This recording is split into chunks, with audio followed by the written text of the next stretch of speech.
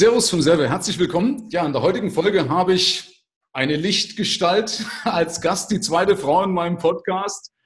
Ja, äh, ich bin immer wieder über dich gestolpert, weil diese, diese Vorstellung, die du bringst, liebe Natalia, auf LinkedIn oder auf Facebook stolper ich immer wieder drüber mit A, äh, LinkedIn Unicorn, Dr. Nat oder wie heißt er? Known as Dr. Nat und so weiter. Du machst das ja meistens in Englisch. Ähm, ja, sie ist Brand Building Coach, sie ist Keynote Speaker und wie gesagt, ein, ein Sonnenschein vom Auftreten. Ja, liebe Natalia, herzlich willkommen. Schön, dass du dir die Zeit genommen hast. Schöne Grüße nach Dubai.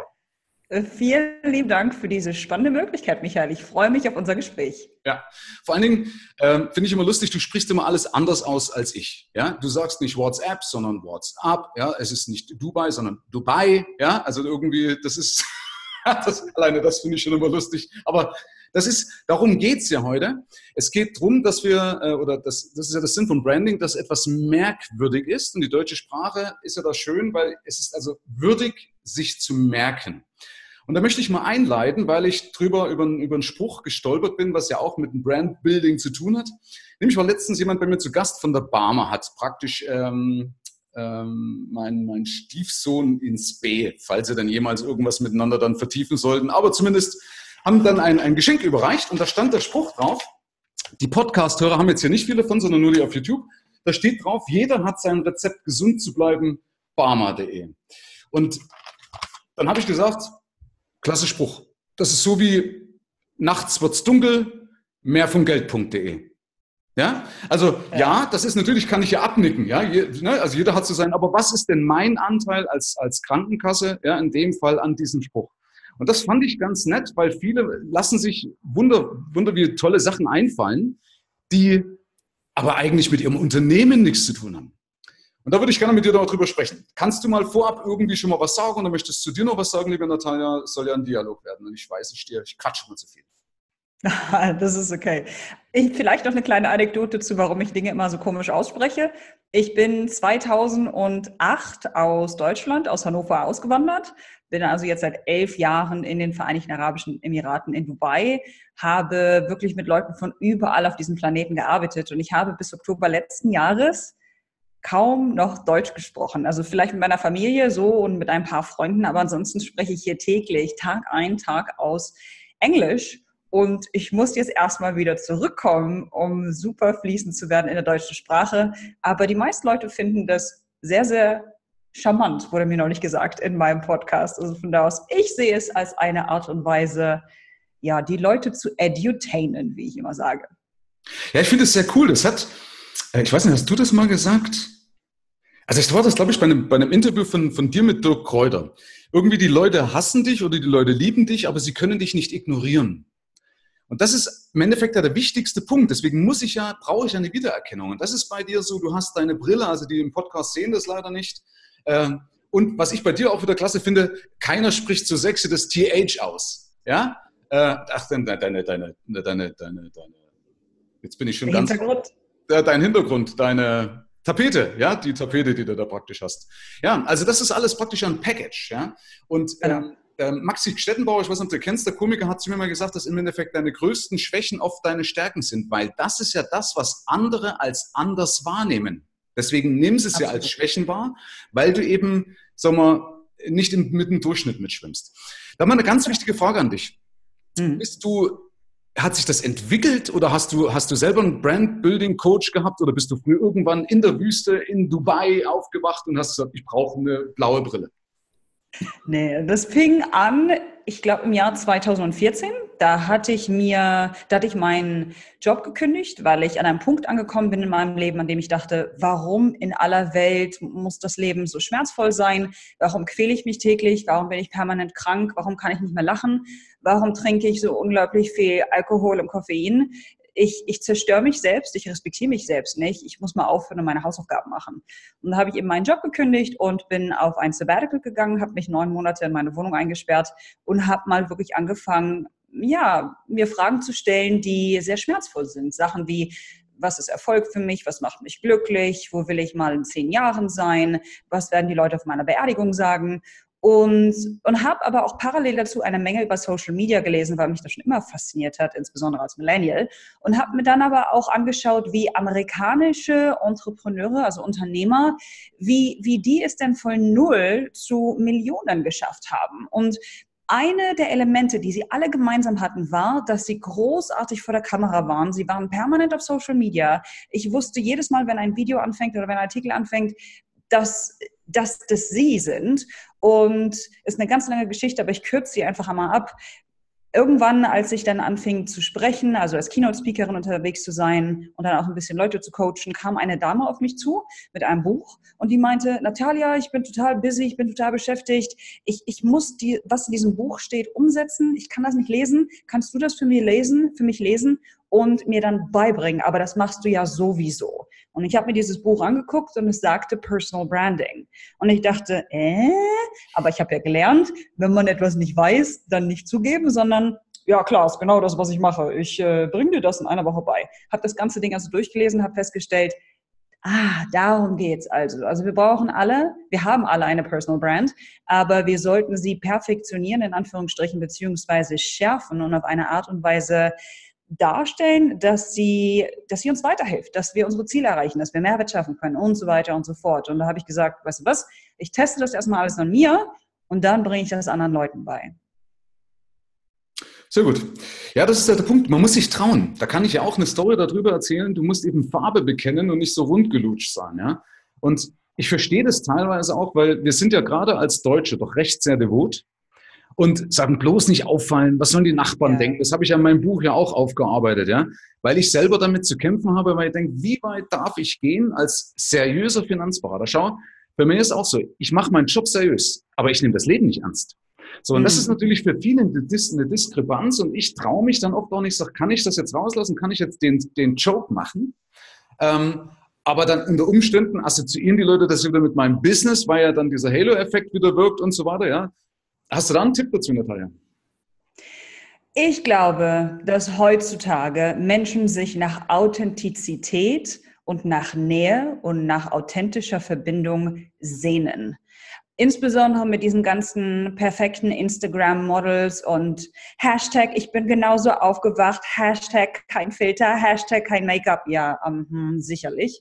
Äh, das, das nervt uns alle und ich glaube, dass wenn jemand den Mut hat, vor die Kamera zu treten, einen Artikel zu schreiben, eine Rede zu halten, in der diese Person wirklich hundertprozentig die Person ist, die er oder sie auch ist bei einer Küchenparty oder unter Freunden oder wie auch immer, die richtigen Leute, richtig in Anführungsstrichen, werden es verstehen und werden sich in dich als Mensch verlieben.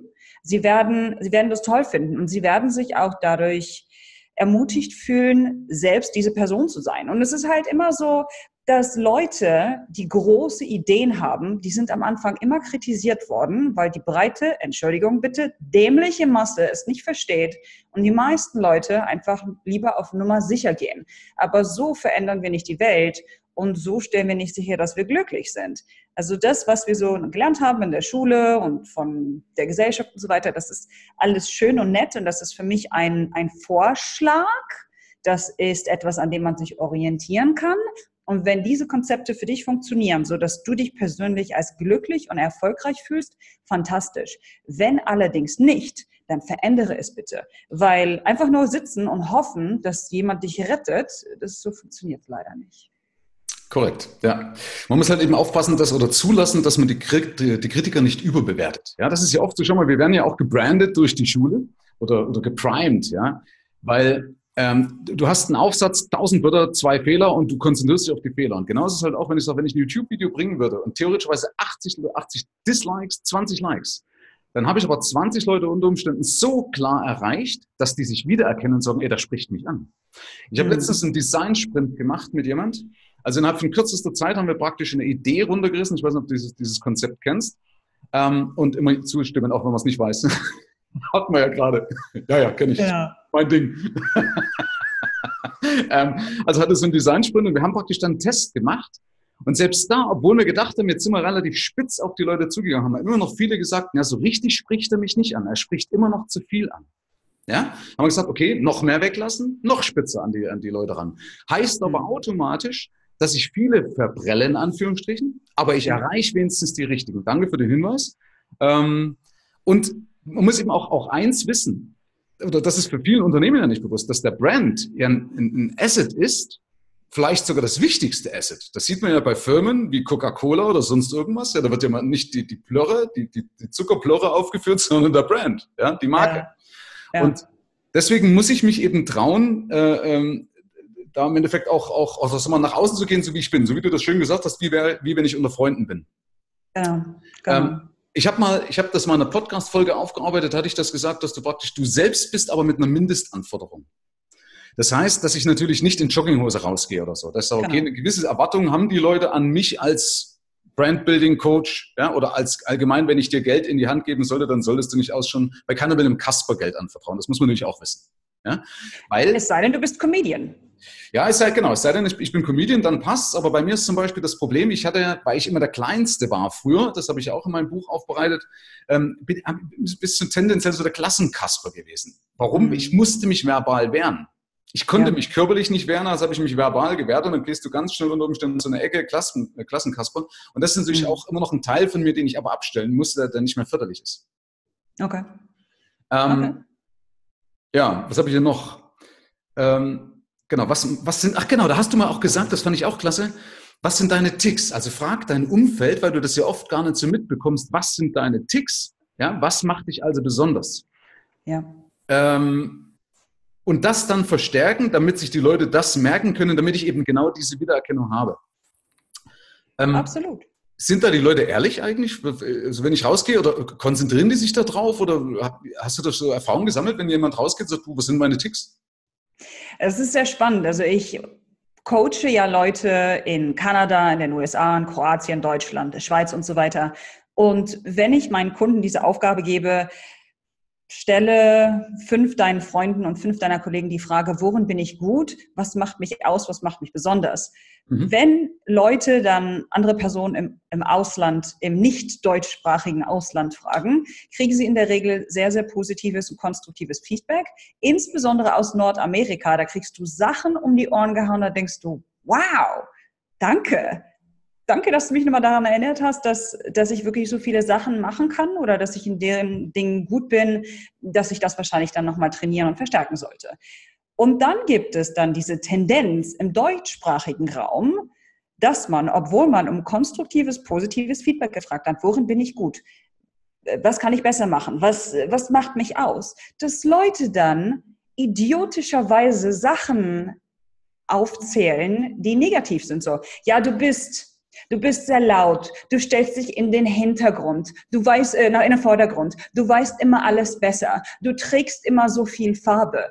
Und ich denke, was ist denn das für ein kranker Mindset im deutschsprachigen Raum, wenn ich jemanden um ein Kompliment bitte oder jemand darum bitte, mir zu zeigen, worin ich gut bin, dass ich dann Kritik kriege, beziehungsweise dass mich jemand dann runterzieht. Das finde ich absurd und äh, unverständlich. Weißt du da mehr drüber, wo das herkommt? Hast du ähnliche Erfahrungen gemacht? Ich glaube, das ist einfach diese, diese Erziehung, dass du ja nicht auffällst, weil wir Deutschen ja einfach mal schon mal was gemacht haben, wo wir zu sehr im, im Mittelpunkt standen. Ja? Also ich, ich ja, merke das zum Beispiel.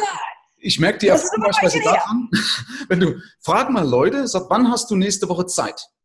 Am mhm. Montag kann ich nicht, am Mittwoch kann ich nicht, am Freitag kann ich nicht. Die gehen immer ins Gegenteil. Ja, ja, also, wenn du nicht. Wann, sie, wann sie Zeit haben, musst du fragen, wann hast du nächste Woche keine Zeit? Dann sagen sie, den Mittwoch kann ich. Genau. Oder was ich auch festgestellt habe, wenn du zum Beispiel rausgehst oder du machst einem schönen Frau ein Kompliment, sagst, tolles Kleid. Und mhm. sie sagt, ja, Geld aus dem Fleck. Oh, ja, ja, ich weiß. Aber ich glaube, das hängt damit zusammen, dass wir wirklich auf diese Art und Weise sozialisiert werden. Wir, wir haben die Tendenz dazu, immer das Negative zu sehen oder das, was noch nicht fertig ist oder was immer noch nicht da ist und uns permanent zu rechtfertigen. Und ich glaube, dass, dass gründet oder mündet alles in so einem ganz komischen Komplex, den wir alle haben, den wir entwickelt haben. Ich bin nicht genug. Ich bin noch nicht da. Und ich brauche jemanden, um um komplett zu sein oder, oder wie auch immer. Ich glaube, da ist ganz viel in uns reingehämmert worden aus, ich würde sogar so weit gehen und sagen, sozioökonomischen Gründen, Gründen, weil wenn du unglücklich bist, dann konsumierst du einfach mehr. Ich meine, stell dir mal vor, jeder Mann, jede Frau würde morgen aufwachen und sagen, ich finde mich super. die gesamte Mode und plastische Chirurgie, diese ganzen Industrie, die würden ja kollabieren, die würden ja kaputt gehen. Hört sich jetzt irgendwie eine Verschwörungstheorie, ist aber meine persönliche Meinung. Nein, wir sind ja, wir sind ja ein kapitalistisches Land oder grundsätzlich und damit hängt es am Konsum. Ja, also das ohne Zweifel. Wir müssen bloß aufpassen, dass wir uns nicht verzetteln, weil wir sind ja bei, bei, bei Brandbuilding. Mhm. Gehört zwar auch dazu, aber ähm, jetzt habe ich meinen Faden verloren. Ich wollte gerade was noch sagen mit dem, mit dem Slogan. Verdammt. Liebe Natalia, jetzt hast du mich rausgebracht. Wo waren wir denn? Ach so, genau, ja. Weil ich muss natürlich, äh, danke das auch für den Hinweis mit, mit den unterschiedlichen Nationen. Ähm, ich muss, ah, ich sehe gerade meine Kamera, ich habe ein Autofokus drin. Äh, ich muss natürlich auch Leute befragen, die mir nicht unbedingt äh, oder, oder, die mir auch die Wahrheit sagen. Wir hatten das zum Beispiel in diesem Design, äh, Design.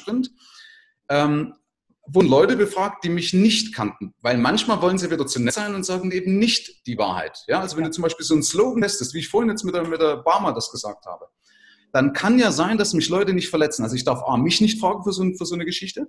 Bei Beispiel, wenn du eine Homepage aufsetzt, sind die besten Homepages im Sinne der Geschäftsführer immer die, wo die Geschäftsführer ganz dick und fett dastehen, so, ey, wir sind die, wir sind die vollen Kings, ja.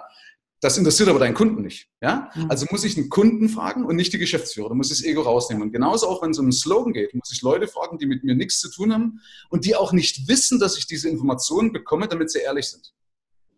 Absolut, absolut. So wie du gesagt hast, manchmal sagen wir einfach Dinge, um Leute nicht zu verletzen. Aber ich habe über die letzten Jahre eben festgestellt, dass ich, wenn ich an so einem Punkt bin, wo ich nicht weiß, dass, ob Leute jetzt sagen, was ich hören will oder nicht, dann sage ich immer, please do it the German way, straightforward, honest, in my face, I can take it. Also im Sinne von, mach es auf die deutsche Art und Weise und alle Leute lachen dann immer, weil sie wissen, dass die Deutschen sehr direkt sind. Und wenn ich denen sage, hier, ich meditiere täglich, ich habe eine Menge an mir selbst gearbeitet, ich denke, dass ich mein Ego in Check habe, ich weiß, dass du das nicht tust, um mich zu verletzen, sondern du sagst es, damit ich daraus lerne. Und das ist doch auch der Grund, warum ich dich gefragt habe. Ich meine, ich bin eine geile Sau, ich weiß, wie cool ich bin, aber was ich nicht weiß, ist, was ich schlecht mache, weil ich einfach blind bin, weil ich mich permanent sehe, insbesondere auf Social Media. Ich bin ja permanent vor der Kamera. Also erzähl mir bitte, was ich falsch mache oder was ich besser machen kann, damit ich ja einfach noch mehr Mehrwert schaffen kann. Ja.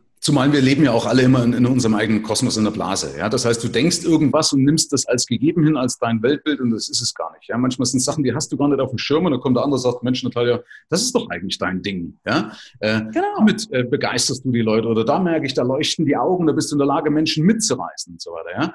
Äh, genau. Und oft stuft man auch so oder, oder seine, seine, seine eigenen Standards, ach, das, ja, das, jetzt, das wird alles so eine Persönlichkeitsgeschichte. Ja? Aber deswegen rausgehen, die Leute fragen und sich dann aber eben trauen, dran zu bleiben. Ja? ja. Auch gerade dann, wenn Gegenwind kommt. Ja, wenn du sagst, äh, wir, wir, wir wollen, äh, oder sagen wir, das hast du vorhin schon gesagt, wir bewundern ja Menschen, die sich trauen, sich selbst oder sich selbst zu sein, die auch Kritik mal offen aussprechen und die sagen, du pass auf, nee, finde ich doof, was du sagst, die das auch nicht wischiwaschi machen, also abmildern, ist ja oft auch mal ein Punkt. Ja. Ähm, und äh, das bewundern wir an Leuten. Dieser Mensch, schau mal, das, der, der ist, wie er ist. Ja? Natürlich hast du dann immer Neider, Neider auf dem, auf dem Parkett. So what? Ja, das, ja so what? Also ich meine, es ist so, erstens gibt es einen Unterschied zwischen du bist doof und das ist doof, aber das verstehen, verstehen die meisten Leute nicht.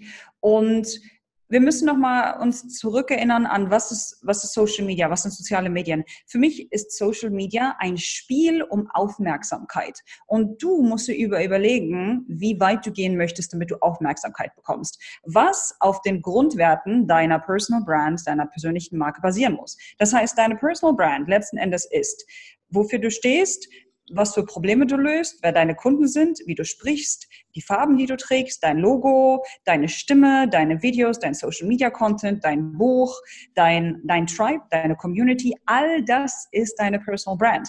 Und du musst dich einmal am Anfang damit auseinandergesetzt haben, so eine Art Bestandsaufnahme aufgemacht zu haben und diese Fragen gestellt haben, in welche Richtung das gehen kann oder soll, weil sonst wirst du nicht in der Lage sein, das auf eine Art und Weise zu verschieben oder leiten, was wieder mit deinen Gesamtzielen im, im Einklang steht. Ich meine, letzten Endes wollen wir alle meistens dasselbe. Wir wollen irgendwie, wir wollen uns selbst gut fühlen, wir wollen eine Menge Geld, wir wollen Unabhängigkeit und wir wollen irgendwie anderen Leuten helfen und sicherstellen, dass wir diesen Planeten ein bisschen besser verlassen, als er war, bevor wir irgendwann hier ankamen. Sehr schön. Hast du ein Beispiel für so eine Transformation ohne Name zu nennen? Äh, es ist so witzig. Ich arbeite gerade mit einer Kundin und sie arbeitet im Chemiebereich, ist in einer ganz großen internationalen Firma und sie hat sich bei mir gemeldet, weil sie an ihrer persönlichen Marke oder ihrer Personal Brand arbeiten wollte und sie wollte VP of also Vice President of Innovation und Technology werden. ich so, hm, okay, ich glaube dir das einfach mal. Und dann haben wir darauf hingearbeitet und wie ist deine Profilierung und was für Content erstellst du und, und wo featuren wir dich, in, in welchem Podcast und in welcher Radioshow und erzähl mir ein bisschen mehr über deine Ziele und wer du bist und wie auch immer. Und wir hatten gestern unsere letzte Session, so nach neun Wochen. Und dann kam sie auf mich zu und meinte, Natalia, ich, ich weiß nicht, wie ich sagen soll, ist wie gesagt eine Frau. Du ich fühle mich, als ob ich 20 wäre, deinetwegen. Nicht so, das kann man jetzt ziemlich miss missverstehen. Könntest du das ein bisschen tiefer graben? Ich verstehe es nicht. Und sie so, ich bin Mitte 40 und ich bin zu dir gekommen, weil ich VP of Technology werden möchte. Und jetzt nach diesen neun Wochen überlege ich mir, ob ich vielleicht nicht aus diesem gesamten Corporate BS rausgehe, ob ich nicht meine eigene Firma als Berater gründe, ob ich nicht ein Restaurant am Strand aufmache. Ich schlafe mehr, ich konsumiere weniger Kaffee, ich, ich laufe jetzt jeden Tag, ich habe angefangen mit Meditation, alles, was du mir beigebracht hast. Ich fühle mich jünger, ich fühle mich besser, ich kann mich besser konzentrieren. Es ist unglaublich. Und das sind dann immer so Sachen oder Momente, in denen ich mich mal beherrschen muss, dass ich nicht anfange zu weinen, weil mir das so nahe geht und ich habe einfach Spaß an dieser Art von Arbeit. Sehr cool. Also man, wer an sich reinhört, der weiß ja auch, dass ich, wenn ich eine Rolle spiele, ist ja anstrengend. Das kostet Energie. Ja? Und wenn du mal durchgehst, wo du überall eine Rolle spielst, ob das jetzt gegenüber deiner, deiner Familie, also gegenüber Geschwistern spielst, vielleicht gegenüber Nachbarn, ja, gegenüber äh, Arbeitskollegen, deinem Chef, deinen Kunden, deinen dein, dein, äh, Einkäufern, keine Ahnung, ja, also die, die, die, die Firmen, mit denen du kooperierst und so weiter. Überall mhm. ja eine gewisse Rolle. Und das ist ja. anstrengend. Und das muss jetzt zwar nicht schlimm sein, aber ich muss natürlich überlegen, gefalle ich mir in dieser Rolle? Ja, also heißt jetzt nicht, dass ich jetzt da permanent überlege und, und, und lüge oder so, das will ich damit nicht sagen, sondern ist klar, du kannst natürlich äh, gegenüber Kunden musst du anders sein als meinetwegen gegenüber deinem Chef. Das ja. Ist, macht ja auch Sinn. Ja? Ähm, ja. Aber ich muss mir überlegen, gefalle ich mir in dieser Rolle? Fühle ich mich da drin wohl? Ja? Und wenn ich mich nicht wohlfühle, dann macht es mich kaputt, dann werde ich sicherlich auch krank, dann wirkt die Psychosomatik, dann geht es mir auf den genau. Magen oder auf genau. das Kreuz und so weiter, kann ich die Last genau. des Lebens nicht tragen. Ja? ja? ja, wunderbar auch die Parallelen, was du genannt hast. Bringst du aber den Leuten dann auch bei zu meditieren? Habe ich das richtig verstanden? Nö. Ja, das ist ein Teil davon. Im, im ersten, äh, in der ersten Woche gehen wir wirklich rein in die Routinen und in den Alltag. Und ich stelle sicher, dass Leute wirklich ihre Grundlagen adäquat organisiert haben. Also wenn Leute nach wie vor in den Supermarkt, in den Supermarkt fahren und irgendwie täglich ihr, ihr Futter kaufen. Das ist für mich Zeitverschwendung, weil hier in Dubai zum Beispiel, da kostet es kaum was. Das wird alles nach Hause geliefert. Das ist Zeit, die du nutzen könntest, nur um dir selbst zu arbeiten. Ich glaube, dass Meditation eine, eine Technik ist oder ein Geschenk ist, das wir uns alle schenken sollten. Aber ganz viele Leute wissen nicht, was es ist. Und ich erzähle denen dann, was es für Apps gibt und wie ich das bei mir gemacht habe. Und ja, fordere die Leute dazu auf, das auszutesten. Und sie fühlen sich danach immer besser. Sie denken klarer, sie sind weniger aggressiv, sie sind, sie reagieren weniger, ja, ja, auch aggressiv in Meetings. Sie merken es bei der Arbeit, sie merken es im, im Privatleben, sie kriegen positives Feedback von ihrer Familie.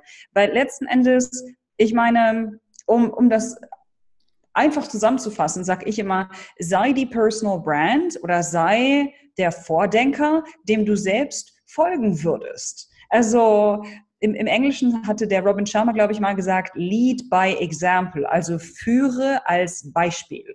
Und wenn du dir selbst die Frage stellst, also würde ich wenn, würde ich selbst von mir kaufen, würde ich mir selbst zuhören, würde ich mich selbst ernst nehmen, würde ich mich selbst mögen. Wenn die Frage nein ist, dann überleg, was du machen musst, was du ändern musst, damit dich selbst akzeptierst, selbst magst, selbst von dir kaufen würdest, weil dann ist die Wahrscheinlichkeit sehr groß, dass andere Leute das auch machen würden. Ja, du hast so recht. Ich kriege bloß immer Stress, auch wenn es jetzt hier nicht passt, aber ich kriege auch Stress mit Meditation. Ich habe das nur mal probiert, weil ich bin ja auch ein sehr, sehr, ich bin ein Energiebündel. Ja? Mhm. Und äh, Geduld ist auch absolut meine Stärke. Ja?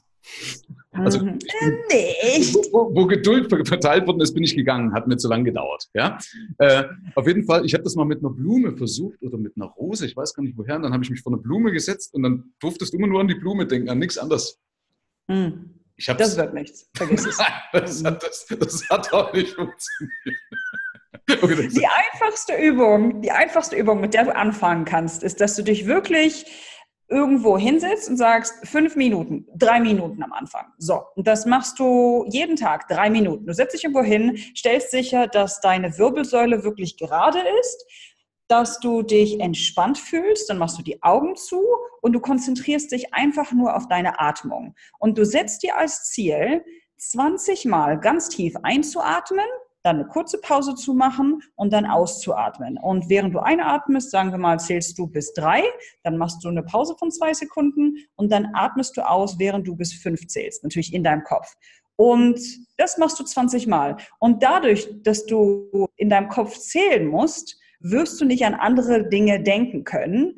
Und dadurch, dass du deine, deine Atmung regulierst, wirst du sehr viel balancierter und ruhiger sein und dein Kopf oder dein, dein Verstand, alles normalerweise in deinem Kopf rumschwirrt, diese 10.000 Milliarden Gedanken, die werden auch mal eine kurze Pause machen. Und das brauchen wir täglich. Das ist wie den, den, den Müll wegbringen. Wenn wir das nicht täglich machen, dann explodiert das hier irgendwann mal. Dann werden wir aggressiv, dann weinen wir, dann fühlen wir uns unbalanciert, dann wissen wir nicht, warum wir irgendwie nicht so richtig auf der richtigen Wellenlänge schwingen.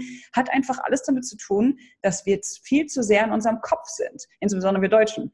Äh, Dichter und Denker. Grausam. Buddha hat mal gesagt, sei. Er hat nicht gesagt, denke. Ah, kann immer klugscheiße. Ah.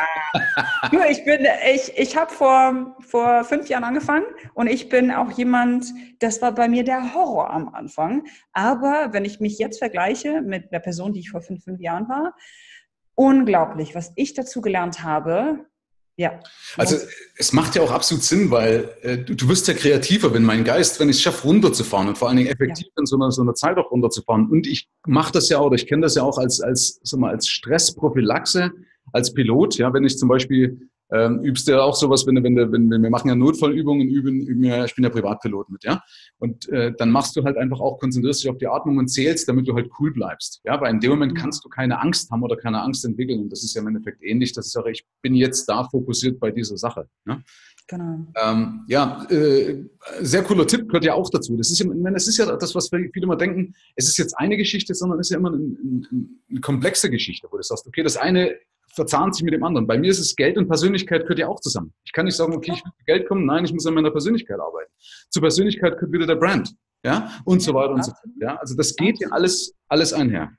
Ja, ähm, also eine Personal Brand braucht Arbeit im Innen, sie braucht Arbeit nach draußen, sie braucht Arbeit online und sie braucht Arbeit offline. Das ist alles sehr holistisch und deswegen dauert das auch ein bisschen, bis man das Ganze gemacht hat, weil es fängt mit dir selbst an. Und wenn du selbst einfach permanent noch in der Vergangenheit abhängst und äh, dich für Dinge hast, die du mal gemacht hast oder permanent für der Zukunft anhast, also nicht hier bist, wirst du niemals erfolgreich sein. Ähm, und wenn du falsche Glaubenssätze hast, so wie du, wie du gesagt hast, zum Beispiel zum Thema Geld. Wir Deutschen haben so viele falsche Glaubenssätze zum Thema Geld.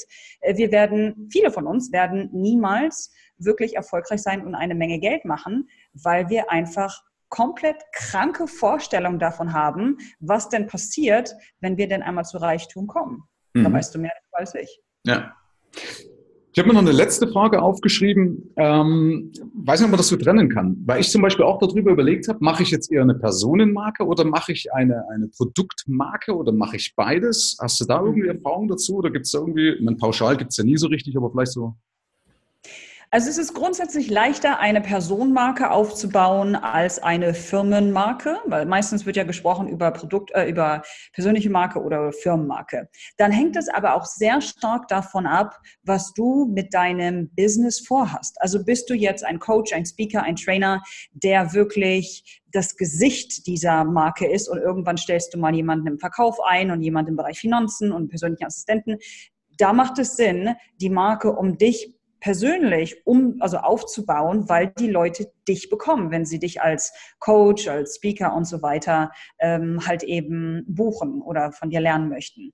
Wenn du allerdings eine Firma aufbaust, die du irgendwann mal innerhalb der nächsten drei, fünf, sechs, sieben, zehn Jahre verkaufen möchtest, dann macht es wenig Sinn, an der Personenmarke des CEOs zu arbeiten. Würde ich machen, weil ist wichtig, aber ich würde wahrscheinlich mehr Energie in den Aufbau der, der Brand, der Company Brand setzen, weil das das Ding ist, was ich innerhalb der nächsten Jahre mal verkaufen möchte. Ja, okay.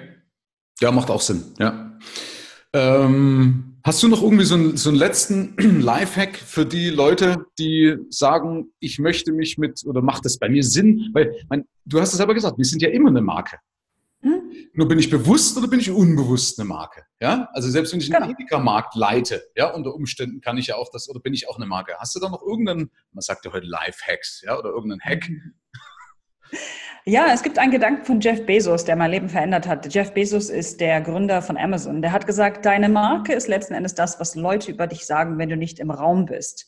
Das heißt, noch einmal, wir haben eine persönliche Marke und anstatt anderen Leuten zu erlauben, zu diktieren, wer du bist und was du machst und wo du herkommst und worin du gut bist, liegt es an dir, aufzuwachen, die Zügel selbst in die Hand zu nehmen und zu sagen, ich bin das, ich stehe dafür, ich bin Experte im so und so und wenn du dieses Problem hast und in diese Gruppe fällst, dann bin ich für dich da. Das ist so der Grundgedanke und darauf basierend muss man sich noch einmal in Erinnerung rufen, dass Leute mit einer stark ausgeprägten Personal Brand sehr viel mehr Businessmöglichkeiten bekommen. Es gibt Studien, die sagen, dass Leute mit einer stark ausgeprägten Personal Brand zwischen 15 und 25 Prozent mehr Geld verdienen. Äh, wenn du eine, eine großartige persönliche Marke hast, dann wirst du auch langfristig Zugang zu einem ganz anderen Netzwerk haben. Und ich glaube stark, dass wir Menschen sozialer Wesen sind und du wirklich einflussreiche Leute in dein Netzwerk brauchst. Du kriegst weitere Möglichkeiten in deinem Privatleben dadurch, dass, weil dich Leute gesehen haben und dich Leute kennen, dann wirst du auf diese Party eingeladen, dann kriegst du da mal was umsonst, dann wirst du da mal eingeflogen.